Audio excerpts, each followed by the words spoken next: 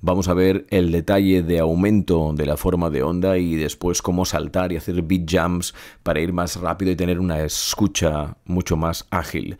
Para ver el detalle y ampliar la forma de onda iremos aquí a la izquierda y con estas lupitas vas abriendo, cerrando el detalle de la forma de onda, incluso para, para editar el bitgrid va, va perfecto. Y para la, el detalle de ir saltando dentro de un track, podemos saltar como bien indica el beat jump, puedes saltar con beats o con compases. Aquí a la izquierda, justo aquí encima donde está la lupa, desplegamos y aquí vemos la posibilidad de saltar con bits y la posibilidad de saltar con compases. Vamos a probar con 16 bits.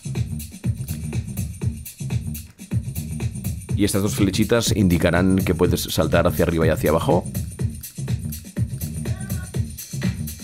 Ahora vamos a saltar con compases y haces una escucha rápida y ya te, pones en, la parte final del track. Son posibilidades que hay de edición y de escucha rápida y de aumento de la forma de onda en Recordbox modo export.